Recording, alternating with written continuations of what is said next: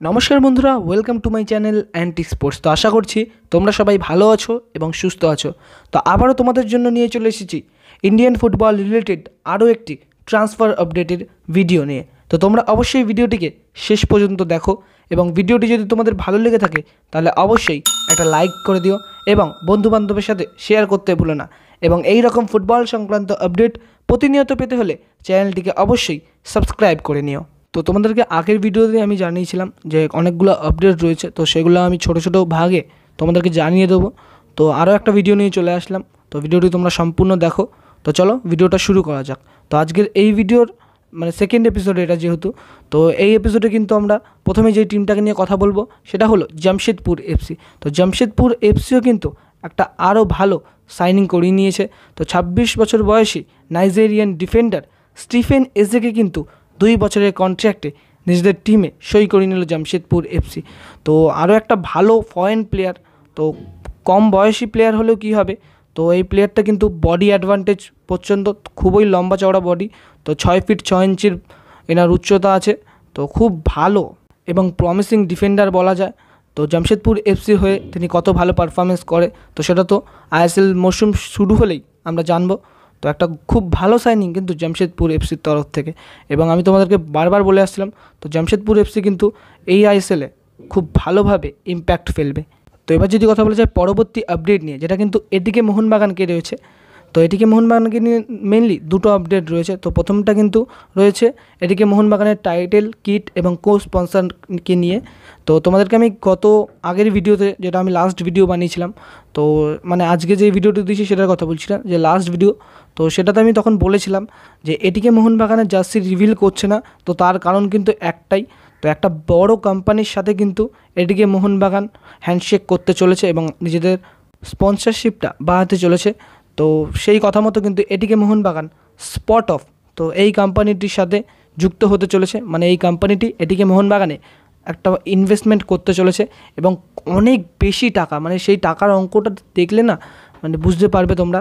তো এই স্পট অফের সাথে কিন্তু তারা যুক্ত হতে চলেছে এবং শোনা যাচ্ছে যে কো স্পন্সার হতে চলেছে। তো এসআরএমবি যেহেতু অ্যাসোসিয়েট স্পন্সার তো এই স্পট অফও শোনা যাচ্ছে কো স্পন্সার হিসেবে আসবে। তো এখনও অফিসিয়াল কনফার্মেশন আসেনি বাট শোনা যাচ্ছে এর সাথে শাইনিং হয়ে গেছে। তো এই স্পট অফ তোমরা গুগলে সার্চ করলেই পাবে। তো বরুশিয়া ডটমন্ড এবং এছাড়াও লা লিগা প্রিমিয়ার লিগ বলো, তো বড় বড় বিদেশি লিগ তো বিদেশি লিগের প্রায় সব কটাতেই একটা কোনো টিমে এই স্পট অফের ইনভেস্টমেন্ট রয়েছে। তো মোহনবাগানের জন্য কিন্তু খুবই বড় এই ইনভেস্টমেন্টটা হতে চলেছে।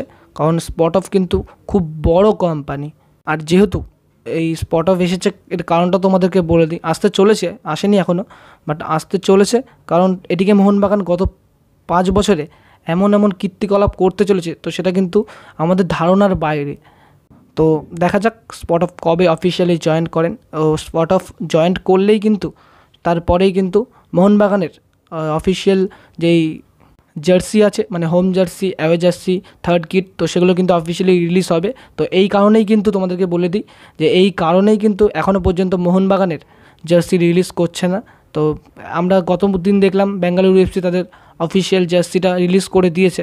বাট যেহেতু স্পট অফের নামটা যুক্ত হবে মোহনবাগানের জার্সিতে, তো সেই জন্য কিন্তু মোহনবাগান কর্তারা কিন্তু এখনও পর্যন্ত স্থির হয়নি যে তারা এই জার্সি এখনই রিলিজ করছে না। তো এবার যদি কথা বলা যায়, এটিকে মোহনবাগানের আর একটা ফরেন সাইনিং নিয়ে, তো এটা অনেক দিন আগে হয়ে গেছে বাট আমি তো যেহেতু অসুস্থ ছিলাম, তো আমি আপডেট দিতে পারিনি। তো সেটা হলো তিরি। তো তিরি কিন্তু অফিসিয়ালি এক বছরের কন্ট্রাক্টে এটিকে মোহনবাগান জয়েন্ট করে নিয়েছে। তো খুব ভালো সাইনিং তো পরের মরশুমে কিন্তু আইএসএলে সবচেয়ে বড় ডিফেন্সিভ যে দলটা তৈরি হচ্ছে, তো সেটা কিন্তু এটিকে মোহনবাগান এবং এটিকে মোহনবাগান কিন্তু সব দিক থেকে একদম পারফেক্ট হয়ে গেল। আর কোনো কেউ কিন্তু দেখাতে পারবে না এটিকে মোহনবাগানের কোনো কমতি আছে টিমে তো মানে এটিকে মোহনবাগানের রিজার্ভ বেঞ্চ এতটাই শক্তিশালী, তো সেই রিজার্ভ বেঞ্চ থেকে কিন্তু আরও একটা টিম তৈরি করা যাবে। মানে আরও একজন এগারো দলের টিম তৈরি করে যাওয়া হবে আইএসএলে তো দেখা যাক, খাতায় কলমে তো খুব ভালো টিম তৈরি করেছে, তো মাঠে কীরকম খেলে, তো সেটা তো আইএসএল মরশুম শুরু হলেই বোঝা যাবে। তো আমরা তাকিয়ে থাকব আইএসএল মরশুমের জন্য। তো এবার যদি কথা বলা যায় ওড়িশা এফসিকে নিয়ে, তো তোমাদেরকে গত ভিডিওতেই বললাম যে ওড়িশা এফসির আপডেট কিন্তু রয়েছে। তো ওড়িশা এফসিও কিন্তু তিনজন প্লেয়ারকে গত কয়েকদিনে সাইন করিয়ে নিয়েছে। তো প্রথমজন হলো ম্যানুয়েল অনু তো তিনি গত মরশুমে ওড়িশা এফসির দলে হয়ে এসেছিলেন লোনে এসেছিলেন তিনি বেঙ্গালুরু এফসি থেকে। তো তারপরে তিনি তিন, চারটি ম্যাচ খেলেছিলেন, চারটি ম্যাচে সাতটা গোল করেছিলেন। তো অসাধারণ পারফরমেন্স ছিল। তো বেঙ্গালুরু এফসিতে তিনি চান্স পায়নি বলে। তিনি ওড়িশা এফসিতে এসেছিলেন। তো ওড়িশা এফসিতে এসে কিন্তু তিনি অসাধারণ পারফরমেন্স করেছিলেন এবং ওড়িশা এফসির ম্যানেজমেন্টের নজর কেড়েছিলেন। তো সেই জন্য কিন্তু ম্যানুয়াল অনুকে আবারও রিটেন করা হলো একটি মরশুমের জন্য।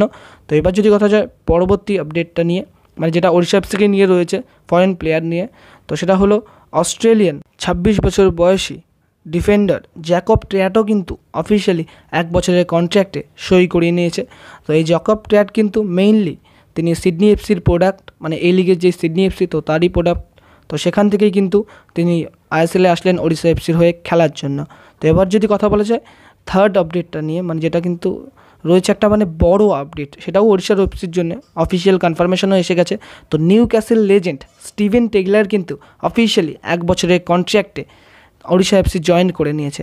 তো তোমাদেরকে আমি অনেক দিন আগেই বলেছিলাম, ওই ইনস্টাগ্রামেই আপডেট করেছিলাম। তো তখন বলেছিলাম যে আসতে পারে টিউমার হিসেবে এবং সেভেন্টি ফাইভ পার্সেন্ট চান্স ছিল। তো সেই সেভেন্টি ফাইভ পার্সেন্ট চান্সটাকেই কিন্তু ওড়িশা এফসি হান্ড্রেড পার্সেন্ট চান্সে কনভার্ট করতে সক্ষম হয়েছে।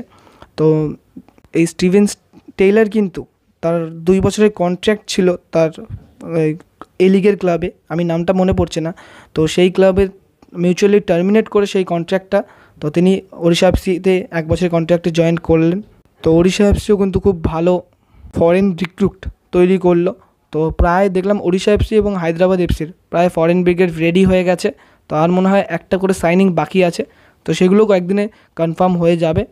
তো দেখা যাক আইএসএলের বাকি দলগুলো কীভাবে তাদের দল গোছায়। তো এই ছিল কিছু আপডেট তো ভিডিওটি কেমন লাগল অবশ্যই কমেন্টের মাধ্যমে জানিও। এবং ভিডিওটি যদি ভালো লেগে থাকে তাহলে অবশ্যই লাইক শেয়ার এবং কমেন্ট করে দিও এবং এই রকম ফুটবল সংক্রান্ত আপডেট প্রতিনিয়ত পেতে হলে চ্যানেলটিকে অবশ্যই সাবস্ক্রাইব করে নিও। তো এখানেই ভিডিওটি শেষ করছি। দেখা হবে পরবর্তী ভিডিওতে